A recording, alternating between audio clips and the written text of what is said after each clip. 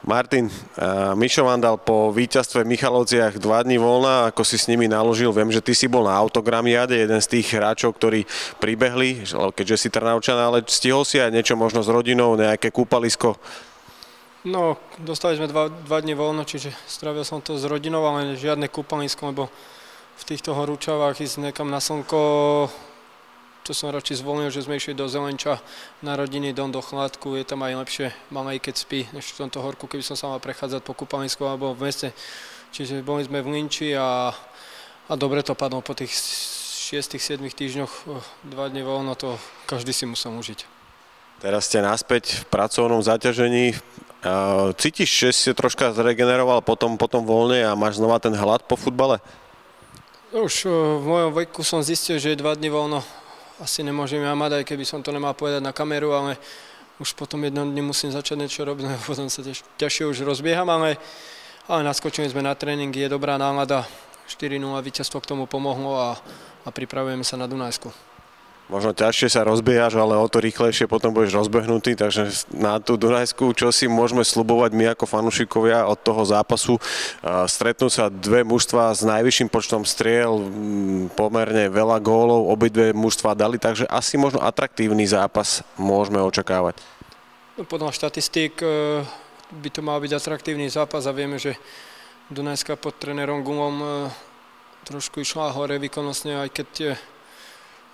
Myslím si, že každý tréner, keby prišiel potom trénerovi z Dunajske, čo tam hrali, aký štýl, tak eh, by vyzeral výborne, ale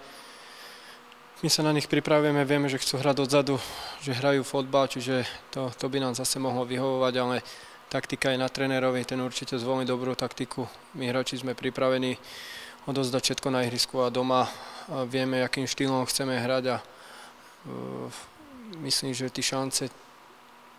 by sme začať mohli premienať, lebo aj teraz v tom prvom polčase sme mali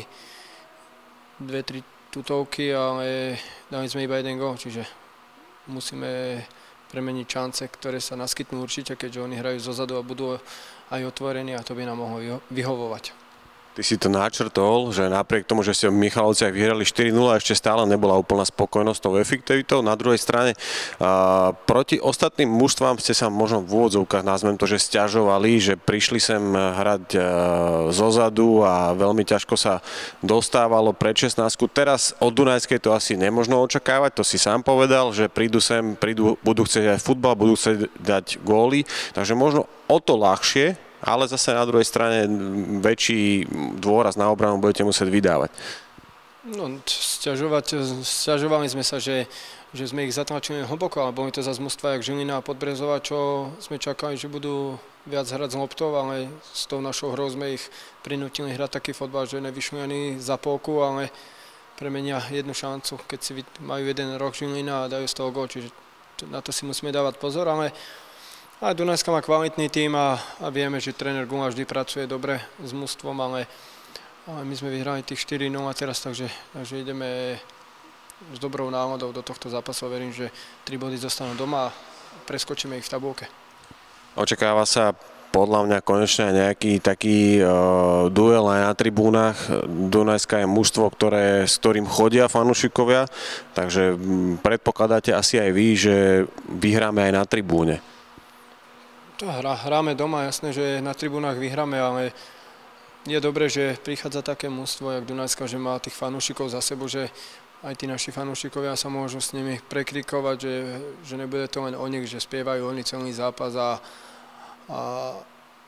fakt na ihrisku sa my pobijeme o víťazstvo, oni sa na tribúnach, takže ja myslím si, že oni už v predstihu vyhráme a, a my to zistíme až v sobotu.